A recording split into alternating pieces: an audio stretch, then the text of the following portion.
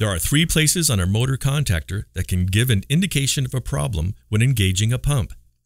When looking at the standard motor contactor that's pre-wired in the factory, you'll see wire in terminals L1, L2, and T1, T2. You'll also see wires connected to terminals A1 and A2 at the top of the motor contactor. The wires at L1, L2, and T1, T2 are the pump connections from the bus bar at the bottom of the control panel, and T1 and T2 should only have power when the motor contactor engages.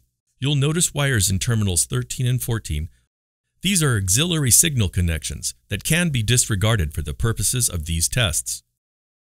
Terminals A1 and A2 receive power from the control circuit breaker to energize the coil in the motor contactor. Power should be present when the handoff auto switch is in manual or the float timer is engaged in the auto position. Terminals L1 and L2 receive power from the pump circuit breaker. There should always be power present at L1 and L2 when the pump circuit breaker is in the on position. Repeat this process with terminals L1, L2, and T1, T2.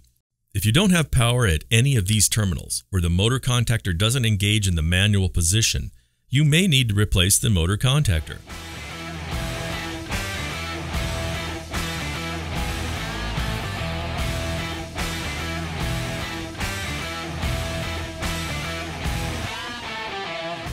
If you have any questions about panel operations, please contact our customer service department at 1 800 348 9843, Monday through Friday from 8 a.m. to 5 p.m. Pacific Time.